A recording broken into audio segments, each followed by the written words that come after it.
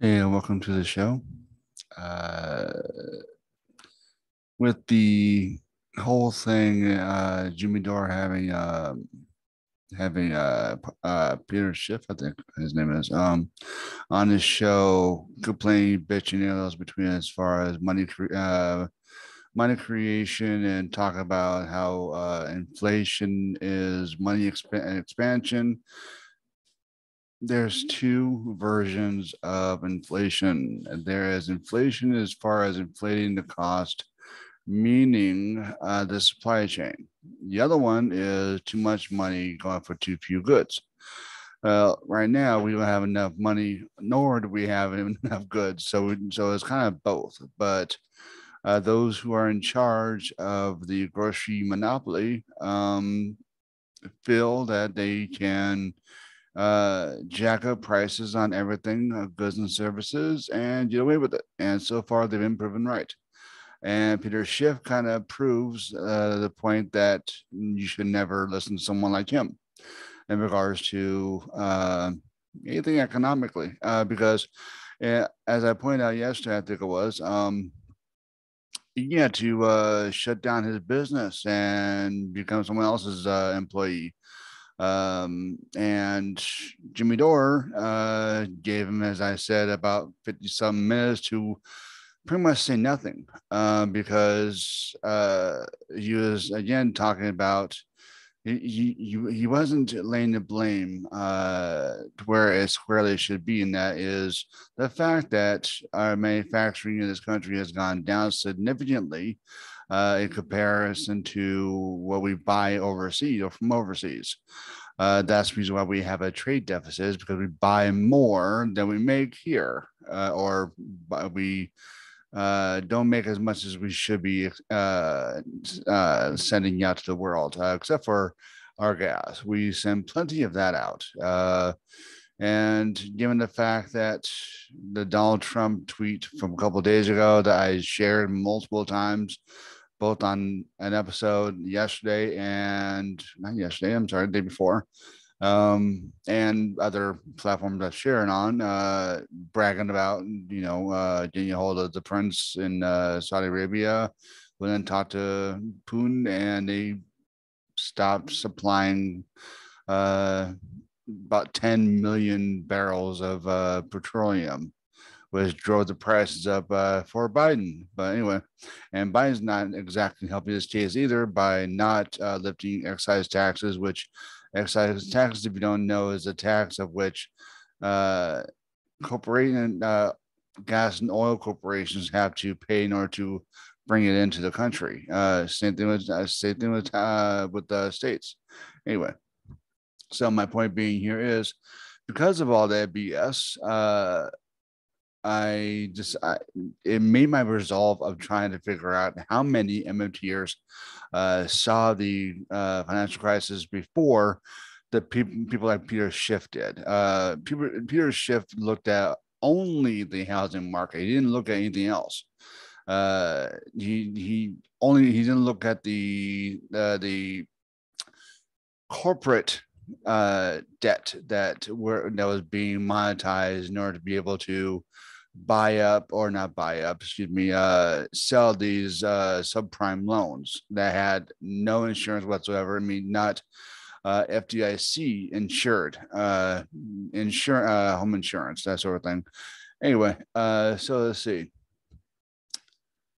Uh, where, where maybe I should start here.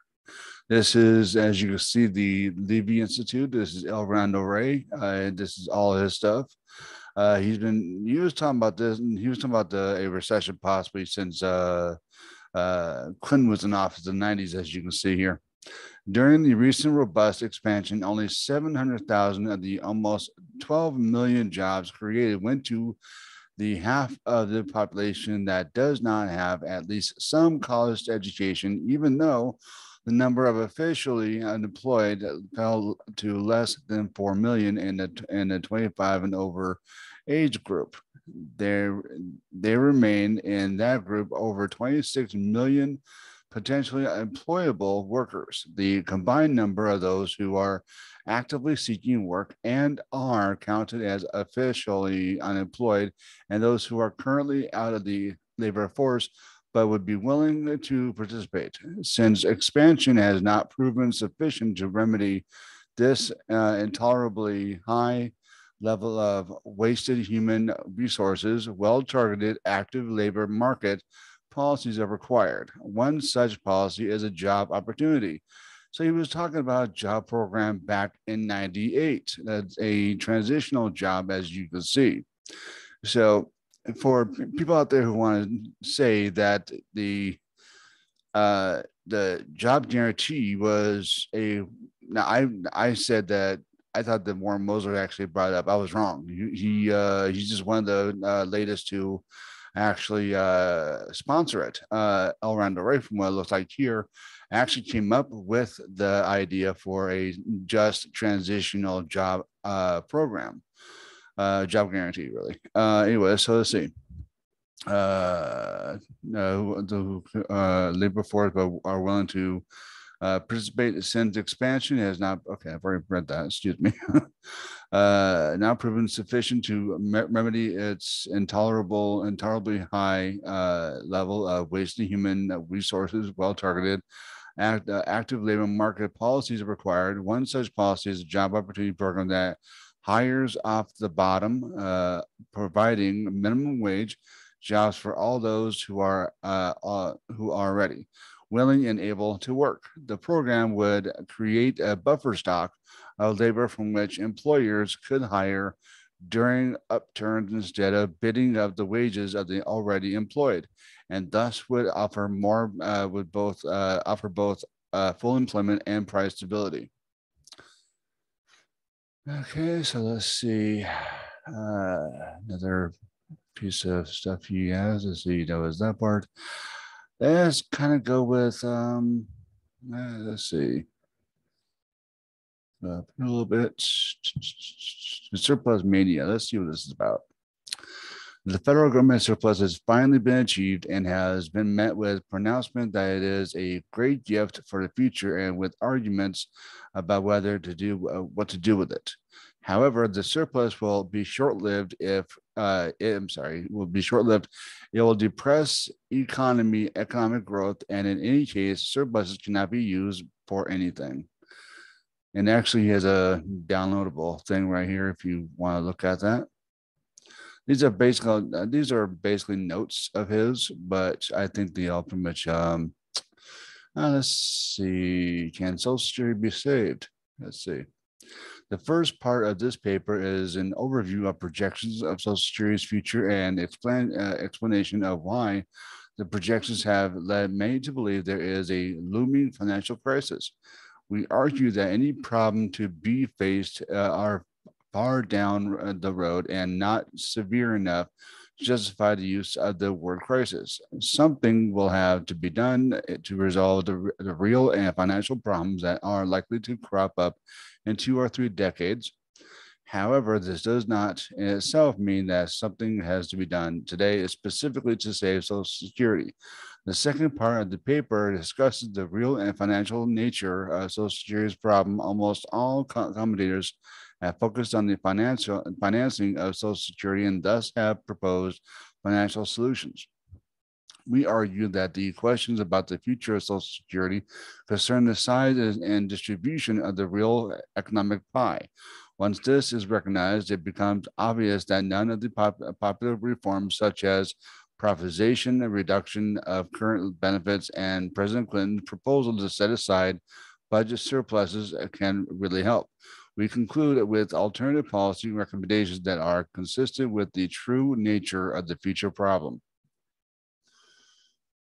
and the future promise from what, from what I saw was the fact that they put down that it can only be paid with uh with uh social security tax.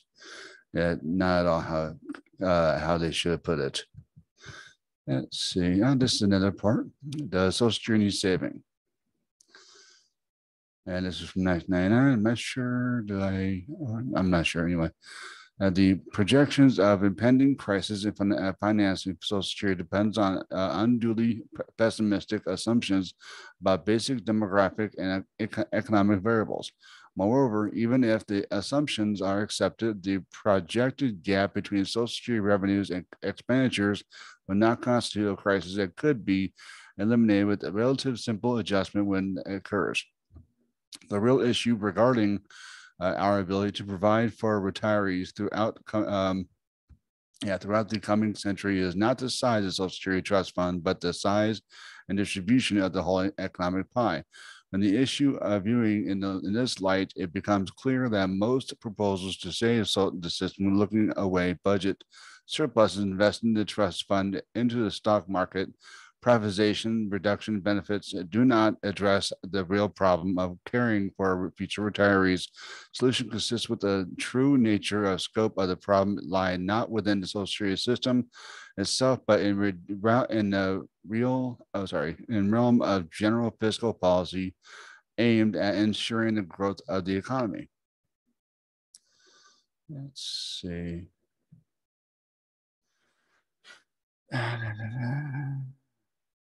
Let's go with, mm, yeah, let's go with this one. Okay, so Hyman P. Uh, Minsky insights into the relationship between profits, economic growth, and the public and private financial balances are particularly relevant to today's conditions. How can a Minskyan view be applied in to to explain the process that brought the economy to its uh, current state and recommend a policy stance for the future? That's not what I was looking for, but anyway. Let's see. Da, da, da. Why does the Fed want uh, slow growth? Let's see what this is. The Fed has raised interest rates six times in the past year to slow the economy and the belief that unemployment is too low. There is there is scant evidence, however, that low unemployment leads to uh, inflation, but uh, sorry, inflation that the economy is in danger of overheating or that higher interest rates will reduce inflation. Instead, the Fed is merely uh, hastening a downturn that will impose huge costs on society, society's most disadvantaged. Yeah. Let's see. Um, duh, duh, duh. Let's see. Try and get to that one word.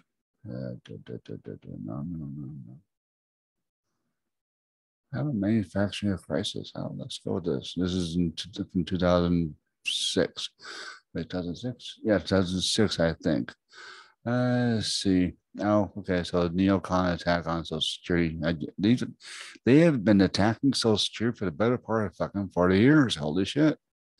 Uh, for seven decades, okay, uh, the far right has never uh, veered from its own avowed mission to gut America's most comprehensive, successful, and popular safety net, Social Security, while it had won a few small battles, most notably the Greenspan Commission's huge 1983 payroll tax hikes and the two in, the two year increase in the normal retirement age. Its efforts never gained uh, much political traction uh, before 2000.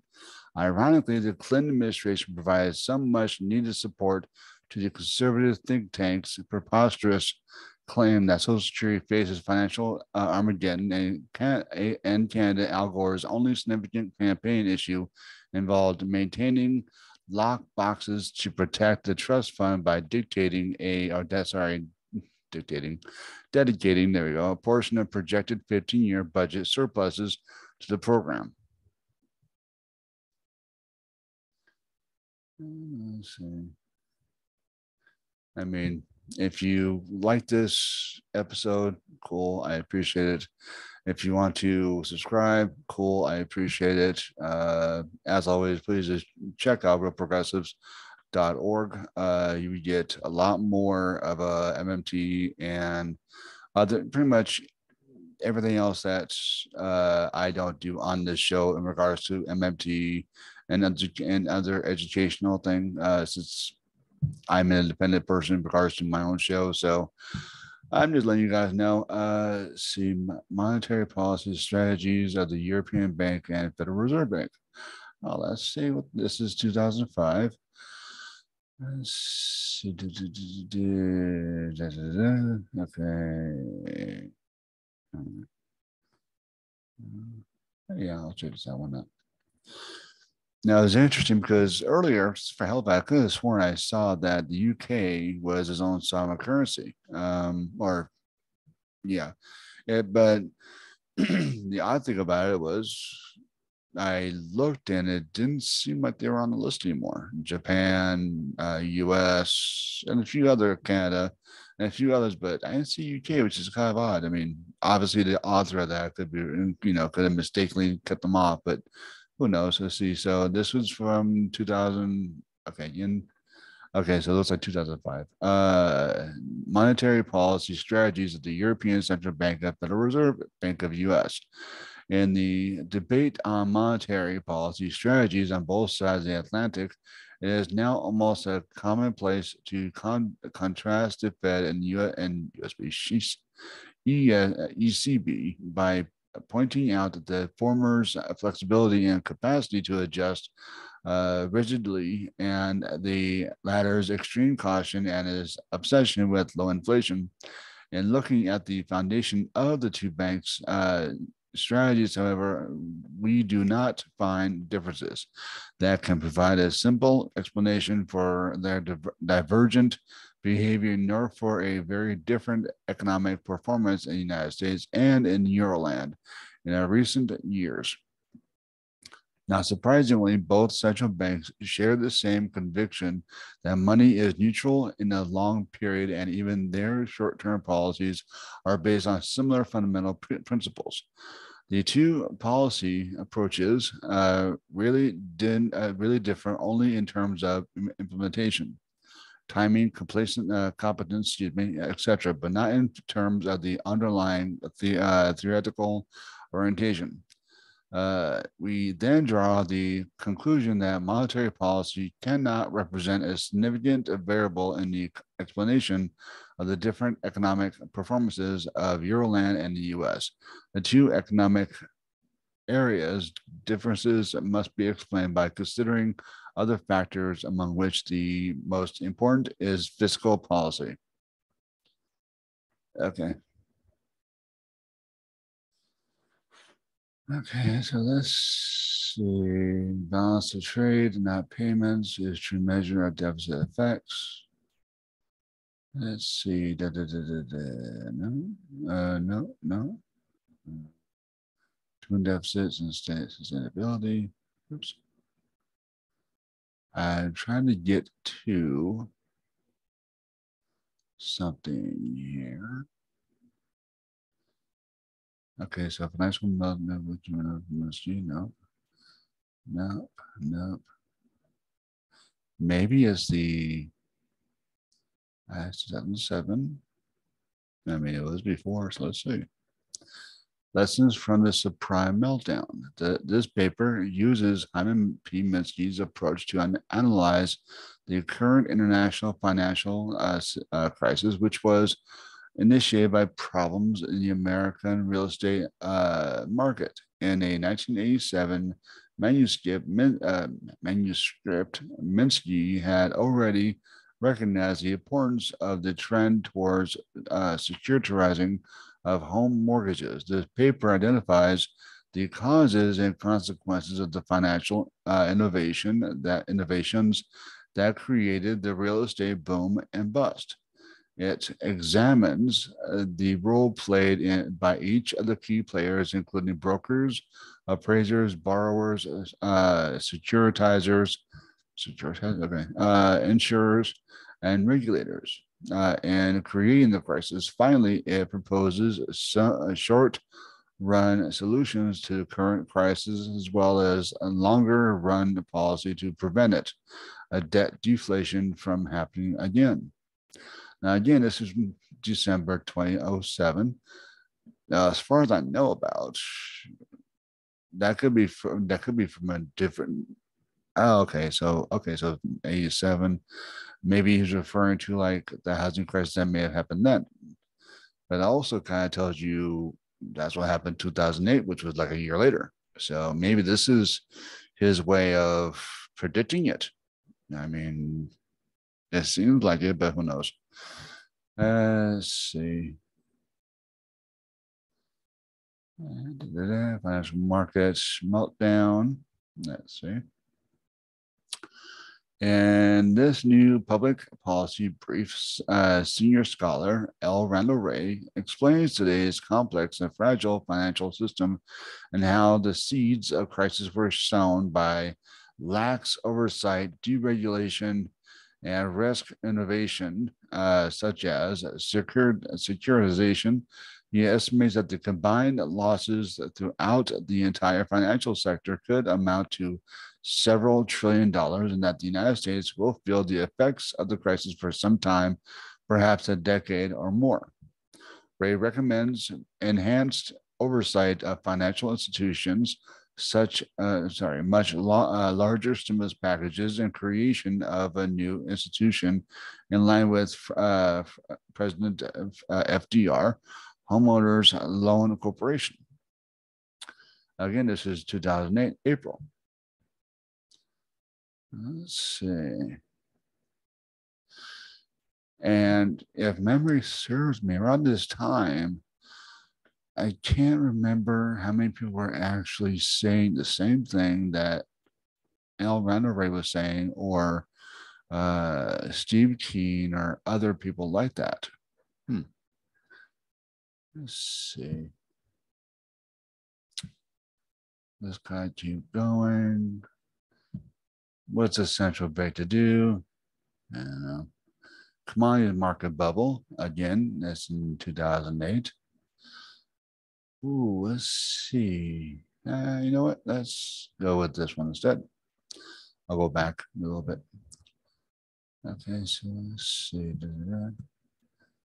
While serving as chairman of the Federal Reserve Bank, Alan Greenspan, who, by the way, was actually on record saying that uh, we could print as much money as you want to, just depending on who would accept it, pretty much accept as payment.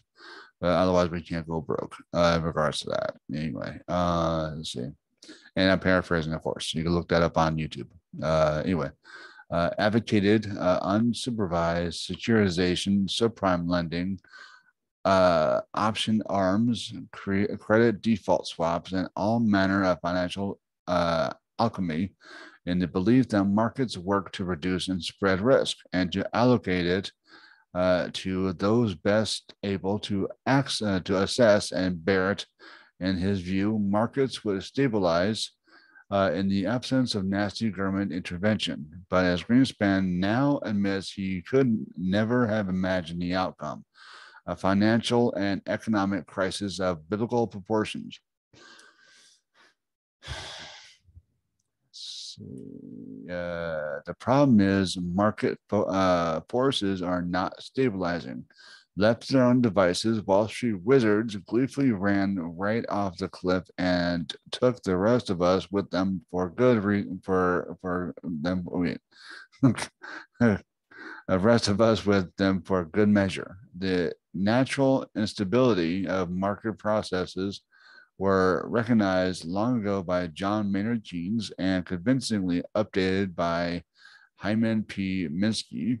Uh, throughout his career, Minsky's theory explained the transformation of the economic over the post war period from robust to fragile. He pointed his finger at managed money, huge pools of pension funds, hedge funds, sovereign wealth funds, university, university endowments, money market funds that are outside traditional banking and therefore largely underregulated and undersupervised with large appetites, appetite, appetites for risk management money uh, sought high returns promised by Wall Street's financial engineers who innovated high complex instruments and that few people understood. In this new policy note, President uh, Dimitri P. Okay, anyway, sorry, can't pronounce the last name. Uh, and research scholar L. Randall Wray take a look back at Wall Street's path to Armageddon. and propose some alternatives to the Bush Paulson plan to bail out to bail both the, uh, the street and American homeowner. Under the existing plan, Treasury could become an owner of troubled financial institutions in exchange for a capital injection, but without exercising any ownership rights, such as replacing the management that created the mess, the bailout, and that would be used as an opportunity to consider control of the nation, nations, nations, nation's financial system in the hands of a few large Wall Street banks with government funds subsidizing purchases of troubled Ber- uh, Berks, Jesus, banks by healthy ones. But it is highly unlikely that relieving banks of some of their bad ha- assets or injecting some equity into them will increase their willingness to lend.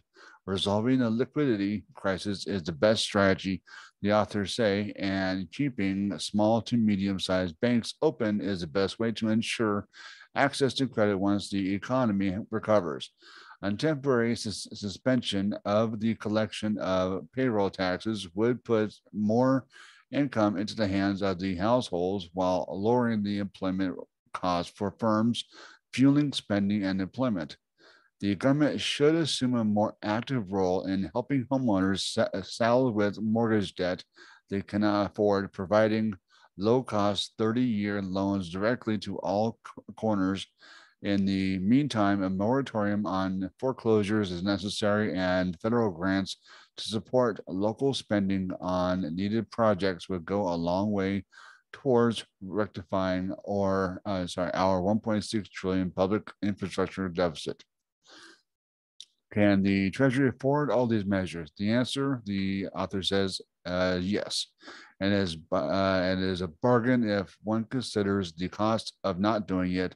It is obvious that the that there exist unused uh, resources today as unemployment rises and factories are idled due to a lack of demand. Markets are also voting with other for with their dollars for more treasury debt. This does not mean the treasury should spend without restraint Whatever rescue plan is adopted should be well planned and targeted and of the proper size.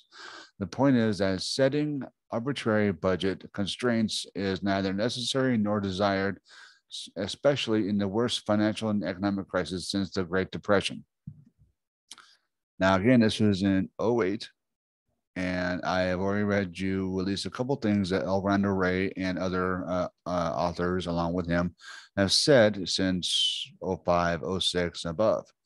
Uh, even going back to the Clinton administration.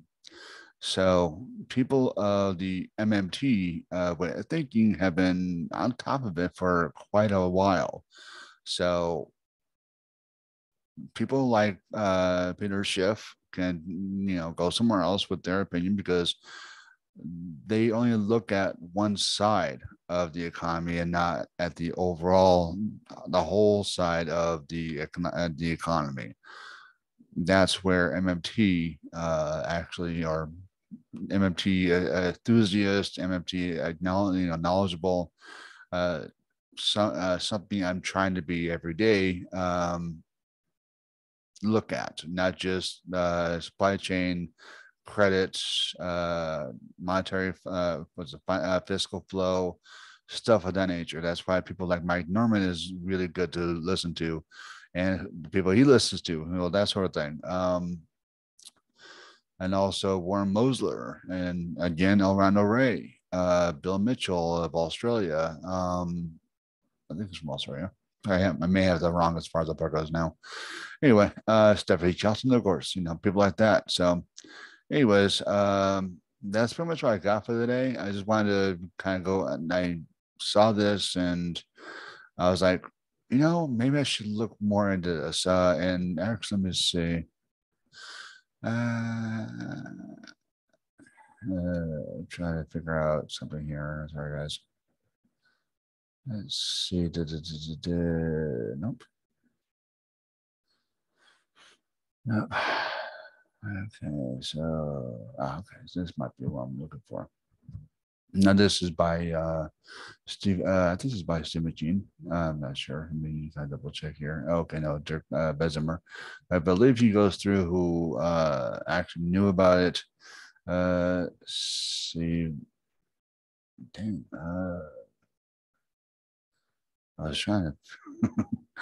let's see. He does point out that Godley uh, saw this coming. Uh, was it? Oh, Godley and a few other people.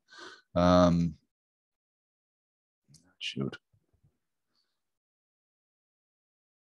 Yeah, okay. References here. So let's see.